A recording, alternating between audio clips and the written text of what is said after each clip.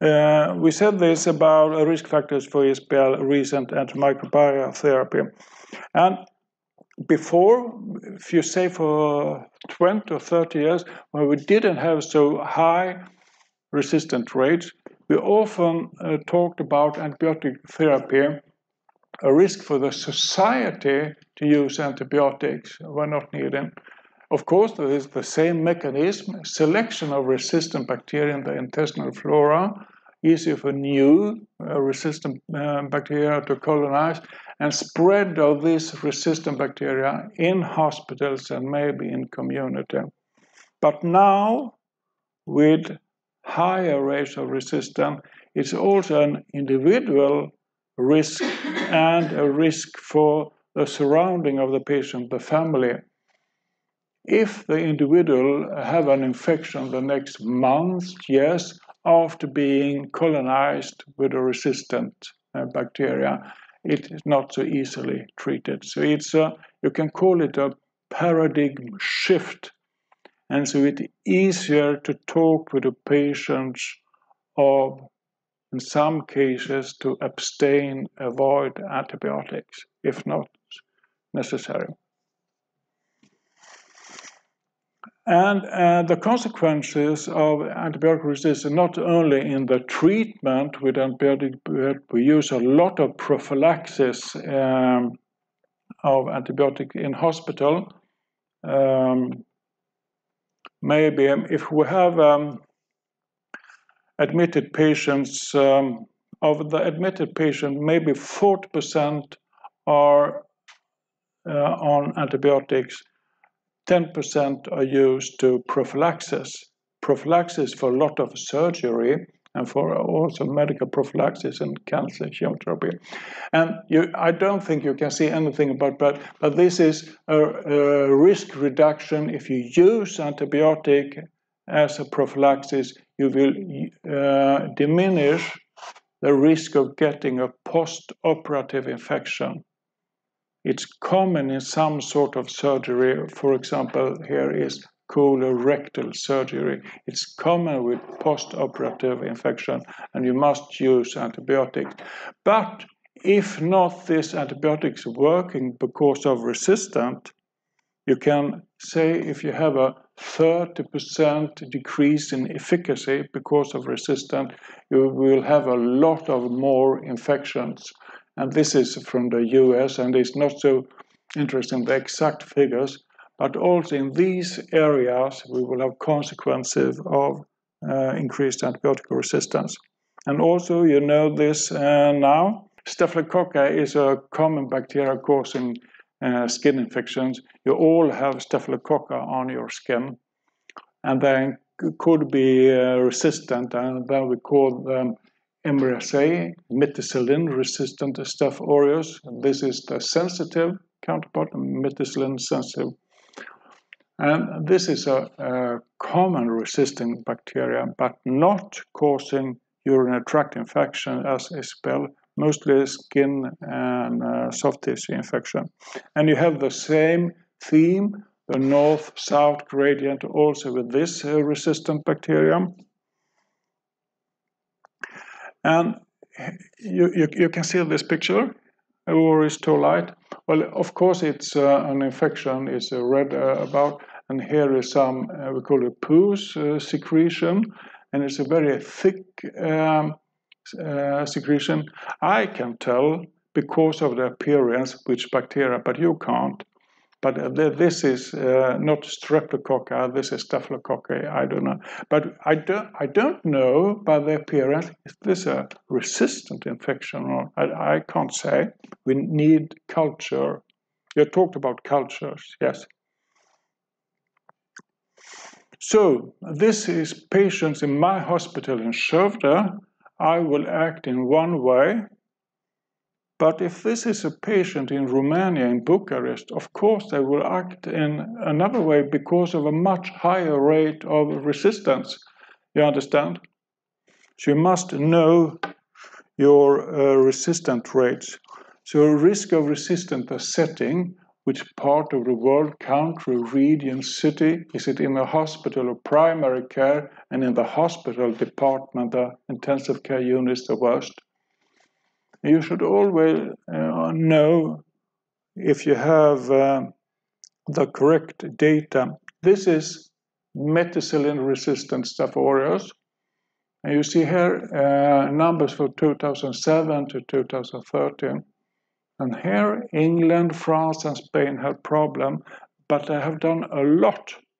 They have done a lot on what we call stewardship to use antibiotic correctly in hospitals and they have done a lot about infection uh, prevention control in hospital and you see it's much more better but often in media you, you get the wrong impression that oh, we don't, we can't do anything about the resistance rate. You can do, you can do a lot. So you must have um, updated uh, data, but in Romania, I'm sorry to say there is no improvement. So um, yeah, these patients with Staphylococcus aureus and you have to culture it, and in this case, it was a resistant staphylococci. What I talked about, complicated versus not uncomplicated uh, infection, not every skin infection is so complicated. Maybe it's enough to, use, enough to use a knife to do drainage, or do you have to use uh, drainage and antibiotics? Of course, it's better just to use the knife, not to give more uh, antibiotics and you will have a more resistant and it will be an evil circle.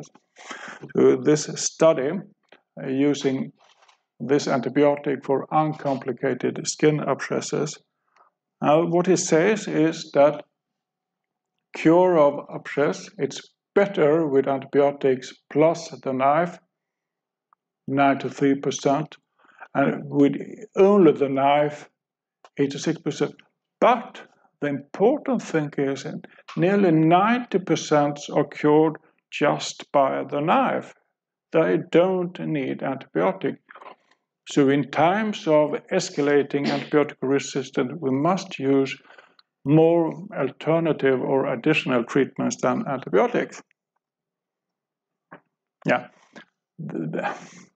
In the medieval times, when they didn't know anything about bacteria, they called this secretion pus bonum et laudabile because it was easy to drainage in opposite to pus from streptococci. They did know that already at that time. So here you have the sensitive staphylococci, they are resistant, and we have problems with this, but we have disaster with the resistant. And this is a very old study from 1941. Then, at that time, not much, many uh, patients did get any uh, penicillin antibiotic whatsoever.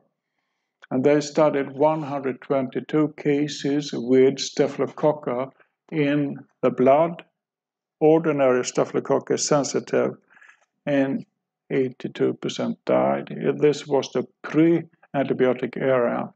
And maybe with resistant, we are slow motion back to this pre-antibiotic era with so high mortality rates.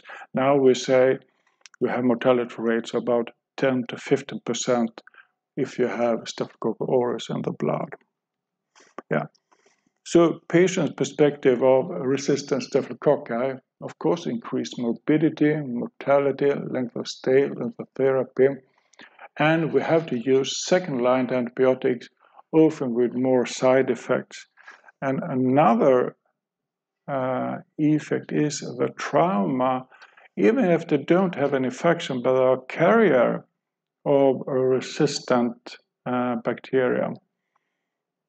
So we give them a notification card, and this card they should show in contact with dentistry or healthcare but some patients don't do because they don't like to be a carrier of resistant um, bacteria.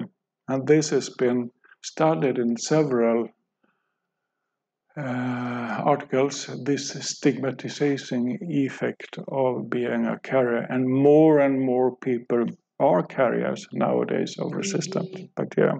I just will point out when you see figures like this, here are both carriers and infected people, and this is true for this also.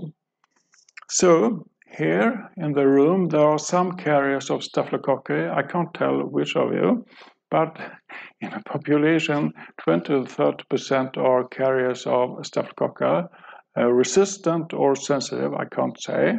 But here in Sweden, you are mostly sensitive. And you are a carrier in the nose, anterior nares of the nose. Here, uh, it's a good conditions for staphylococci. Uh, we can uh, treat, we do treat with local ointment in the nose to eradicate if you are a carrier. Uh, for example, if you're working in a hospital, maybe we don't want uh, you to carry, especially if you have MRSA. We don't treat MSSA if you're a carrier of sensitive stock. We don't, we don't treat, of course not.